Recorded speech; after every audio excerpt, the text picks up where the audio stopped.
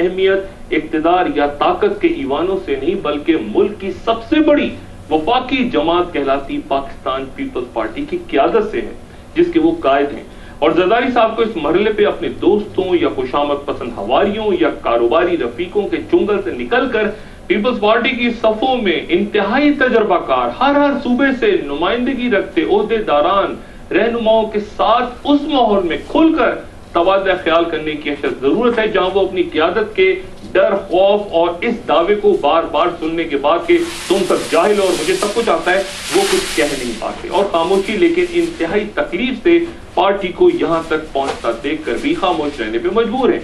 एक और वापसी का कदम, पहले उन्होंने जंग ग्रुप और जियो टीवी पे इल्ज़ाम और फिर एक इंटरव्यू में ये वजाहत करके उठाया कि वो सिर्फ़ मुश्किल लोग हैं। और ये सब कुछ तब हो रहा है जब असल अदालती महाज अगले चंद रोज में सजने को है जिसे एनआरओ के पार्लिमानी महाज पे मंजूर करवाने में नाकामी से पहले और बाद वो अटॉर्नी जनरल लतीफ खोसा को बरतरफ और अब जस्टिस रिटायर्ड भगवान दास की बतौर chairman federal public service commission तैनाती करके उस महाज की तरफ़ वो फूलों का गुलदस्ता पहले ही भिजवा चुके हैं। लेकिन बात हुई कि ये सब कुछ, जिसे वो अपने इकतदार में बाहर सूरत बरकरार रखने का तरीका समझ रहे हैं, सियासी चाले कहते हैं ये मामला पर हर लम्हा रेत की तरह फिसलती उनकी गिरफ्त है, जिसका ताज़ा तरीन एक और मुजाहरा शहबाज शरीफ के सिर्फ़ इस एक बयान के हम भी एनआरओ को अदालतों में ले जा सकते हैं। उसके बाद जरदारी साहब का मियाँ नवाज़ शरीफ को ईद के दूसरे रोज मुबारकबाद का फ़ोन, जिसके इलामिये में सियासी मामला पर तबादला ख्याल बयान हुआ है।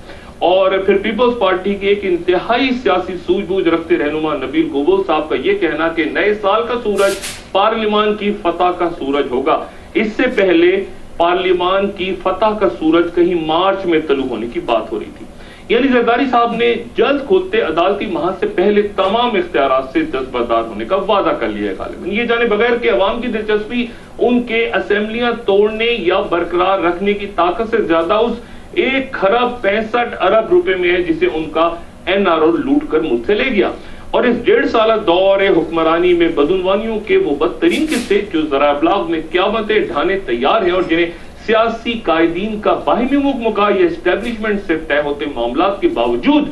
मुल्क के हालिया सालों में ताकत पकड़ते दो अदारे, यानी आज़ाद अदलिया और जंजीरें तोड़ता मीडिया, नजरअंदाज करने पर आमादा नहीं। ये सवाल पहले भी छेड़ा था कि अगर एक इंतहाई ताकतवर और बाख्तियार जरदारी साहब मामला को संभाल नहीं सके तो क्या वो अख्तियार छोड़कर कमज़ोर शख्सियत का रूप धार कर बार बार दो कदम आगे और आठ पीछे हटा के से अपनी सियासी हिकमत अमली कहकर चंद अजीब गरीब गुफ्तगु और दलाइल के साथ, मीडिया पर ढिटाई के साथ उनकी हर शिकस्त को अंदाजे सिकंदराना करार देते